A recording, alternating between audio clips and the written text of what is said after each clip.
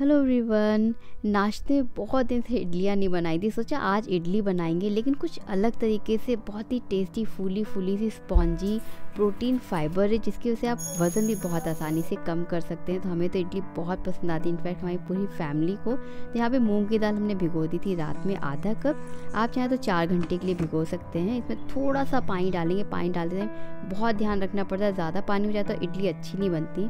इसमें एक नई चीज़ हम ऐड कर रहे हैं, अंकुरित मूँग की दाल, जिससे और भी ज़्यादा हेल्दी इडली बन के रेडी होती हैं तो यहाँ पे हमने आधा कप अंकुरित मूंग की दाल को दरदरा पीसा बिना पानी डाले। अब जो हमने बैटर बनाया ना, मूंग की दाल का, उसमें हरी मिर्च डाल दिए आधा कप के करीब ग्रेटेड गाजर डाल दिए और जो मूंग की दाल हमने अंकुरित वाली जो ग्रेट करी थी मैं उसको पीसा था, लेकिन दरदरा एकदम फाइन सा पेस्ट नहीं बनाया उसको ऐड कर दिया है। तो यहाँ पे पानी हमने पहले बताया, पानी बहुत कम ही डालना है इसके अंदर। ज़्यादा पानी हो जाता है तो इडली अच्छे से नहीं फूलती है और थोड़ा सा ही पानी डाल के हमें इसका बैटर बनाना है। नमक डाल दिया, थोड़ा सा तड़का लगाते हैं ना, उससे और भी ज़्यादा टेस्टी लगती है। हींग ज़रूर डालेंगे, उससे काफ़ी अच्छा टेस्ट रहता है डाइजेशन के लिए भी अच्छा रहता है।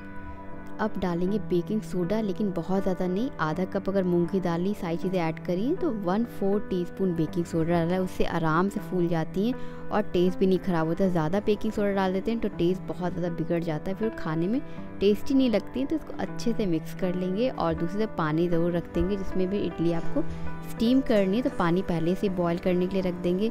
अब जो इडली स्टैंड है वो अच्छे से ग्रीस करेंगे पहले घी या फिर ऑयल लगा के। अब यहाँ पे बैटर डाल देंगे और तुरंत ही इनको फटाफट से जो अच्छा सा पानी उबल रहा है, उसके अंदर रख देंगे। 12 मिनट में अच्छे से स्टीम हो जाती है, बहुत ज़्यादा टाइम भी नहीं लगता। अगर आपने बैटर पहले से रेडी कर लिया ना सारी चीज़ें प्रिपरेशन करने में बस टाइम लगता है। इसको स्टीम होने से 10 से 12 मिनट लगते हैं। अगर आपको मूंग की दाल का जो क्रंच होता है ना, वो अच्छा लगता है ना ये इडली भी आपको बहुत टेस्ट लगेंगी। हल्की सी क्रंचीनेस इसके अंदर आती है, क्योंकि अंकुरित मूंग की दाल हमने ऐड करी। और जब मोल ठंडा हो जाए ना, थोड़ा सा स्पून में थोड़ा सा पानी लगा के इसको आराम से इडलियों को निकाल सकते हैं। इसको आप लंच बॉक्स में रख सकते हैं। कभी आपको इडली खाने का मन इससे इंस्टेंट इडली बना सकते हैं। हाँ थोड़ी सी प्रिपरेशन पहले तो करनी होती है। लेकिन अगर वज़न कम करना है, उसके लिए बहुत अच्छी है, लेकिन उसके लिए मॉडरेशन में ही खाना होता है। क्योंकि वेजिटेरियन डाइट में हमेशा ही थोड़ी सी दिक्कत रहती है प्रोटीन चीज़ें होती हैं, लेकिन कार भी बहुत ज़्यादा उसमें रहता है।